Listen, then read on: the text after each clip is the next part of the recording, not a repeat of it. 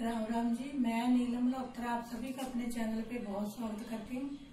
आज मैं बनाने लगी हूँ केक। केक तो मैंने पहले भी बहुत बनाए हैं, मगर आज जो केक बनाऊँगी, उसमें बेकिंग सोडा, बेकिंग पाउडर नहीं यूज़ करूँगी। मैं बताती हूँ आपको क्या क्या चाहिए।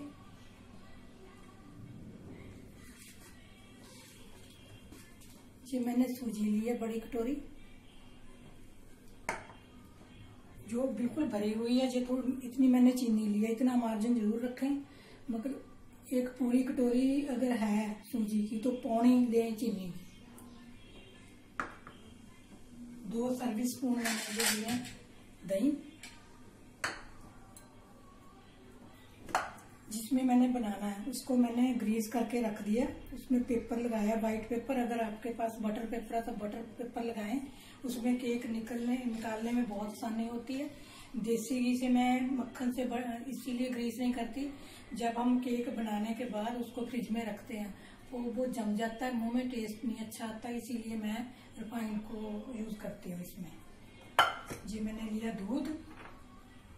और इसमें मैं जो जो यूज़ करती हूँ आपको बताती जाऊँगी। अगर मैं आपको ये ये मैं आपको सजेस्ट करूँगी, आप सूजी को मैक्सिमम भिगो के रखें। एक घंटा पहले मैंने भिगो के रखी है। उसका रिज़ल्ट बहुत ही अच्छा आता है। आप ऐसा करके देखें केक बहुत ही बढ़िया बनेगा।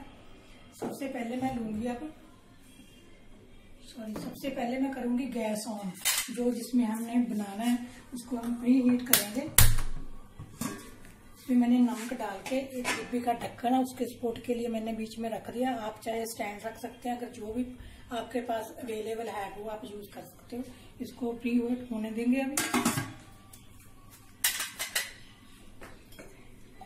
ये हम मिक्सी का जार, क्योंकि क्वांटिटी ज़्यादा है, उसकी सूजी की, इसमें आपको बताती हूँ, तीन चम्मच मैं लूँगी रिफाइंड के। सर्विस स्पून है टेबल स्पून नहीं सर्विस स्पून तीन चम्मच लेने हैं।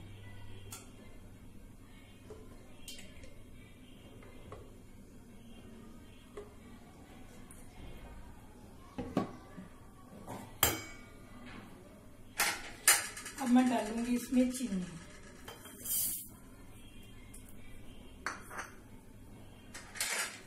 मैं इसको करूँगी ग्राइंड, सूजी इसमें मिक्सी में।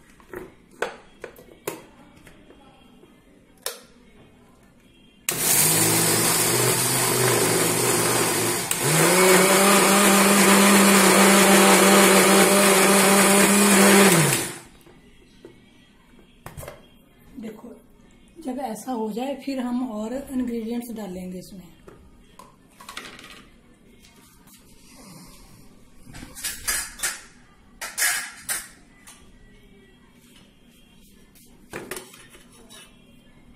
कर्ड डाल देंगे। जो सूजी मैंने भिगो कर रखी थी।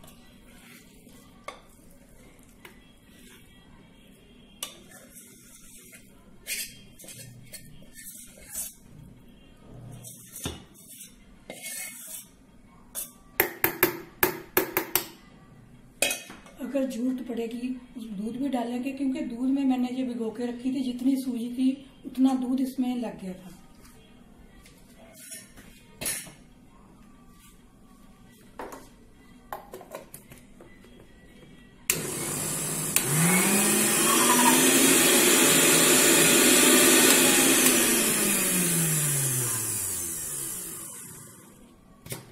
देखते हैं कि इसमें दूध की ज़रूरत है या नहीं है।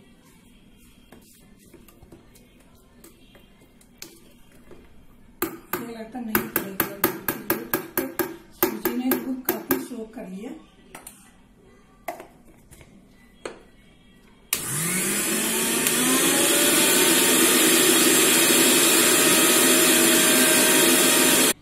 देखो, बैटर हमारा ऐसा चाहिए, ऐसा बैटर तैयार हो गया। अब हम डालेंगे इसमें इनो। पहले तो हम डालते थे बेकिंग सोडा, बेकिंग पाउडर, अब एक चम्मच इनो।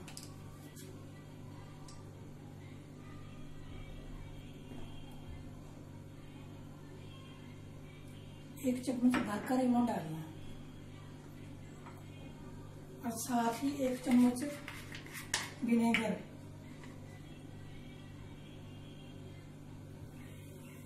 सिरका बोलते हैं जिसको। अच्छी तरह मिला देंगे।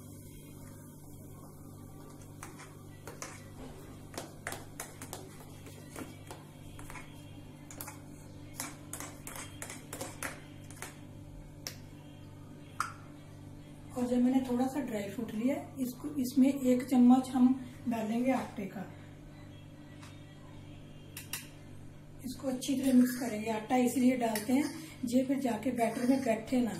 ऐसे इवन लीजिए स्प्रेड हो जाता बहुत अच्छी तरह सारे केक में इसका टेस्ट आता है।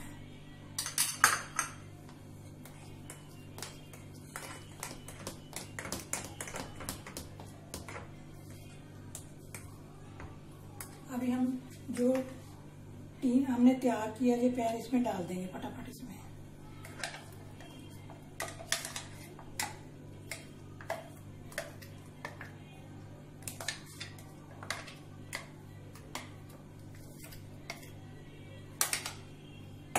इसको टैप कर देंगे। अब हम इसमें रख देंगे।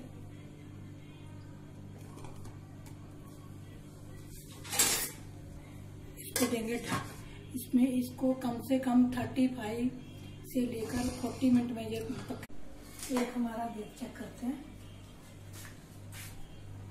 बन के बिल्कुल तैयार हो गया। गैस कर देंगे बंद। इसको पूरा पकने में फोर्टी टू मिनट लगे हैं।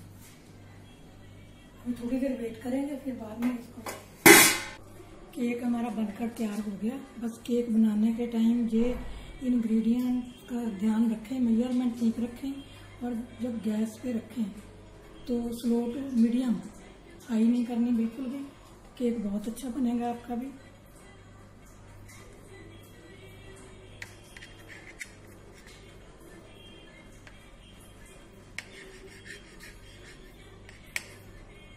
देखो कितना अच्छा बना। आप भी बनाएँ, खाएँ और मेरे को कमेंट करके बताएँ आपको कैसा लगा। प्लीज़ आप मेरे चैनल को सब्सक्राइब करें, लाइक करें शेयर ज़रूर करें